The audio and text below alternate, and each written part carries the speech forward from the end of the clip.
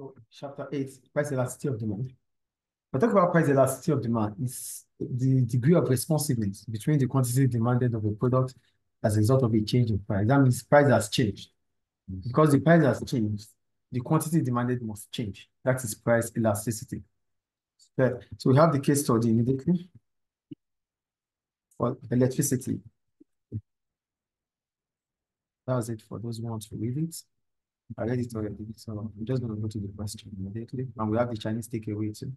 So those are the two case studies. So the first question, what happened to the Patel's demand for electricity after the 13% price increase?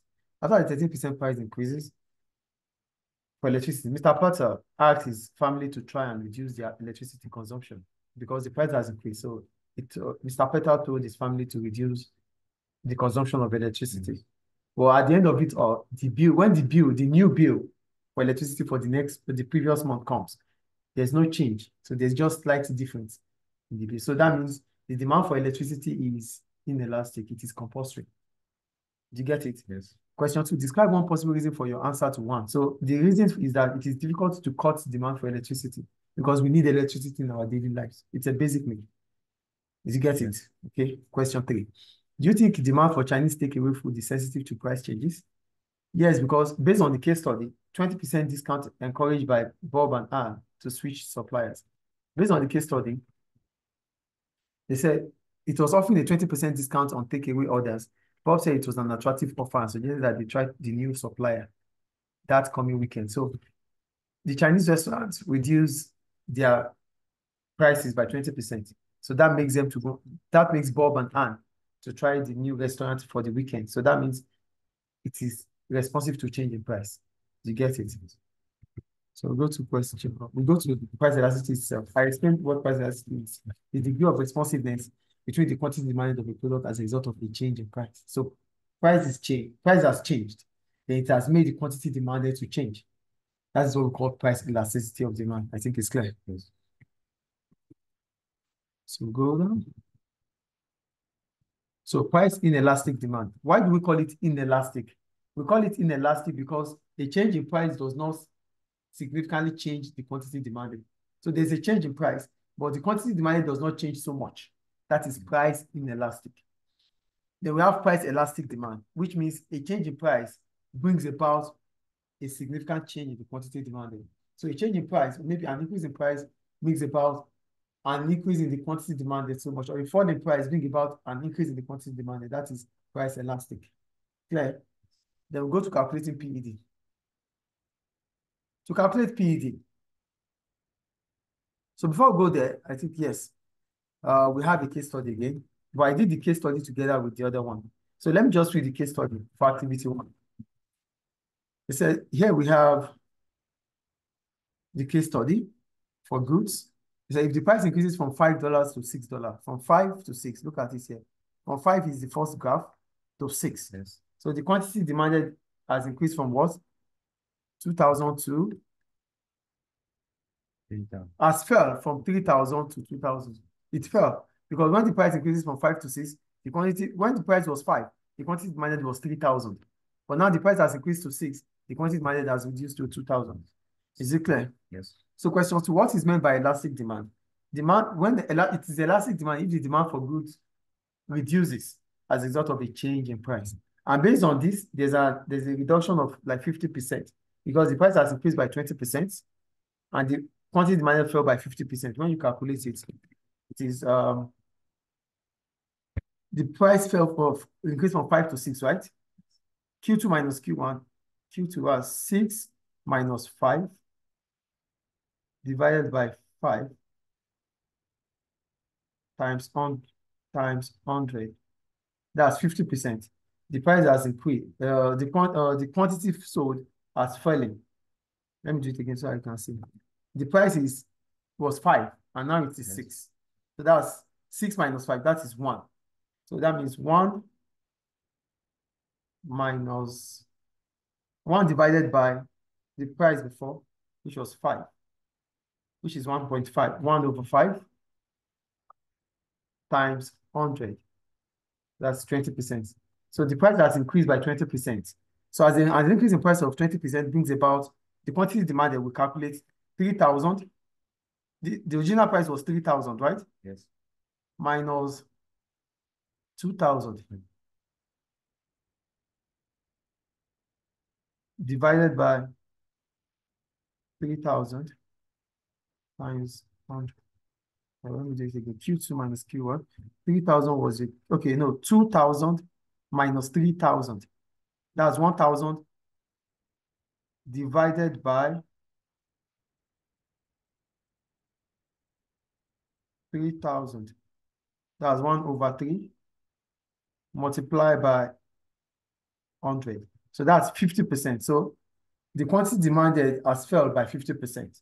So that brings about, that means it is price elastic because if uh, a fall in price, uh, an increase in price from 5 to 6 has been about a fall in quantity demanded from 3,000 to 2,000. Is it clear? Yes.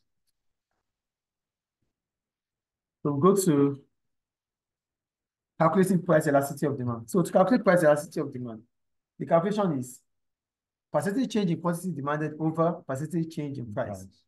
So that means Q2 minus Q1, that's Q2 minus Q1 over Q1 divided by P2 minus P1 over P1. That is the formula. So that's the formula anyway. Then we have the value interpreting the PED. To interpret the PED, this is where I am now, interpreting the PED. If the PED is greater than one, it is elastic, like the case study of the one we did now. And if it is less than one, it is inelastic. If it is zero, it is perfectly inelastic. If it is to infinity, like five, seven, eight, it is perfectly elastic. And if it is minus one, it is unitary. Clear? Yes. Then we have PED and the slope of the demand curve. So look at the graph here. Here. So the graph is showing that if it is that way, it is fixed here. It is perfectly inelastic. That means it doesn't change. If it is this way, it is perfectly elastic. It changes as a result of the quantity change in demand. The second one. That means it can change, but here it is fixed. It cannot change. Clear?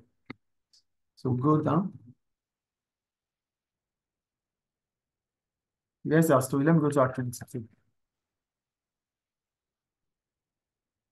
We have the case study.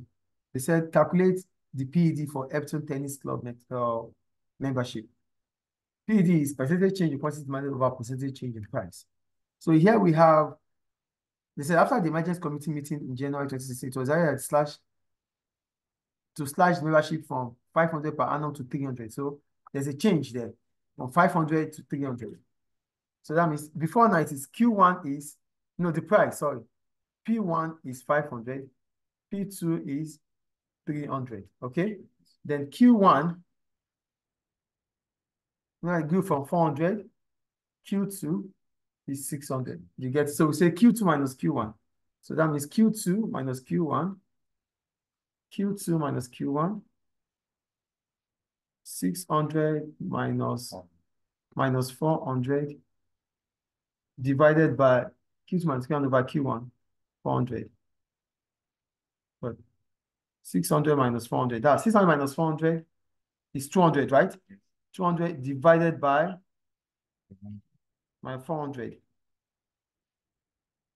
That's 0 0.5%. 0 0.5, which is multiplied by 100, that's 50%. 50%. Then P2 minus P1, P2, which is 300, right?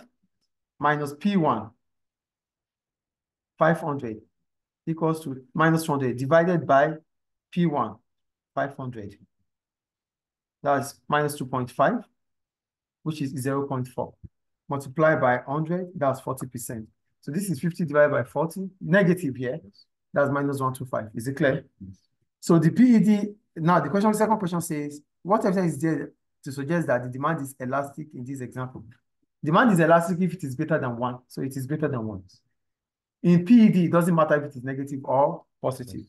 Clear? Yes. So we go to factors affecting the PED.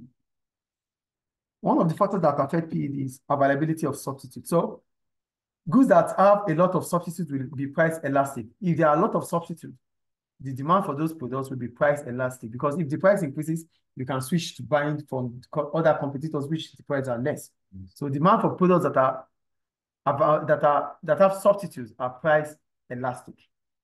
Degree of necessity. If the product is important, like electricity, like food, like clothing, the demand is always price inelastic. Clear? Proportion of income spent. If the amount of what you have to spend on that product is just little from your money, from your income, the demand for that product will be price inelastic. Like maybe you are, you are earning $1,000 and you need to buy a pen. The pen is usually for $1, but now it is $2. Will you buy it or not? Will you think about it? No, you have, you understand? So if the proportion of what you spend in terms of your income, if it is less than what you earn, the demand for that product will be priced inelastic. But if the proportion of your income, like motor car, the price will be what? Mm-hmm. Elastic. Because if the price increases, you won't be able to buy because it's going to take large proportion of your income. Yes. Is it clear? Yes. And time. The last one is about time. When we talk about time, the time between you can, the time in between you can, the, the time in between you have to switch from one product to another will determine if it is price elastic or inelastic. Maybe there's a new product in town now, and the price is $5, and they have increased it to $7. Increasing it to $7, and you cannot find another one in a short period of time. So the demand for that product will be priced inelastic. But if it takes you a few period of time to find a new product, then the price the, the price elasticity of demand will be price elastic because the time to find a new one is not far. Is it clear? Yes. Now go to the relationship between PED and total revenue. For total revenue, we're talking about price multiplied by quantity. So if the price elasticity of demand for a product is inelastic, if you increase the price, the total revenue will also increase. If the price elasticity of a product is elastic and you increase the price, the total revenue will fall. Right. Okay, I'm explaining. If the price of a product is inelastic, that means whatever the price is, they will buy. Yes. So when you increase the kind of that, when you increase the price of such products, the your total revenue, which is price multiplied by quantity sold, will increase. But if the demand for your product is price elastic, it means if the price increases, consumers will stop to buy. When you, whenever you increase the price for such products, the total revenue will fall because less people will buy. Is it clear? Now go to the case study. No, the MCQ. What is the PED of a perfectly inelastic demand curve? It is B, which is zero, perfectly inelastic. Clear? Yes. And if the value of PED for a product is 0.8, an increase in price will result in which of the following? If it is 0.8, it is not, it is greater, it is less than 1. That means it is inelastic. So what will happen if it is inelastic?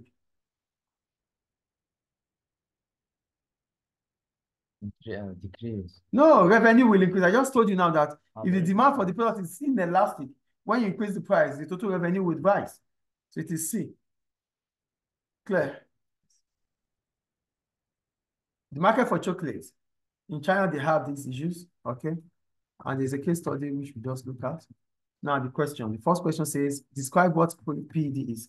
Price elasticity of demand measures the responsiveness of demand to a change in price. It measures the responsiveness, your reaction as a result of a change in price to the quantity demanded. That is price yes. elasticity of demand. Clear? Yes. Question two, calculate the PED of chocolates and state whether the NG, the chocolate is elastic or inelastic. So PED is percentage change in quantity demanded over percentage change in price. So PED is Q2 minus Q1 over Q1 divided by P2 minus P1 over P1. So we we'll go to the P1. The P1 here is uh, is down here. The P1, look at the last paragraph here. They said charges retailer 20. 20 was P1. And now it has reduced the price to 16, which is P2. So P1 is 20, P2 is 16. Clear? Yes. Then the quantity demanded was 12,000. Now it is 16,000. So Q1 is 12,000. Q2 is 16,000. So go to the formula, which is PED is Q2 minus Q1 over Q1 divided by P2 minus P1 over P1. Q2 is 16,000 minus Q1, 12,000 divided by Q1, which is 16,000 minus 12,000, which is 4,000 divided by 12,000 divided by 60 minus 20, which is minus 4. And this is, okay, yeah, minus 4 over 16. which is P1. So 4,000 over 12,000 multiplied by, we reciprocate now. 16 comes up, minus 4 comes down. So that's 4,000 multiplied by 16,000, which is 64,000, divided by 12,000 multiplied by minus 4,000, which is 48,000. So 64,000 divided by 48,000 is minus 4 over 3. So minus 4 over 3 is same as minus 1.33. So it is elastic because it is greater than 1. Is it clear? Question 3. They said, calculate the total revenue if the lower price is 16. So total revenue, so we have to compare now. The total revenue is P1, Q1 for the first price, which is the price was 20 and the quantity was 12,000.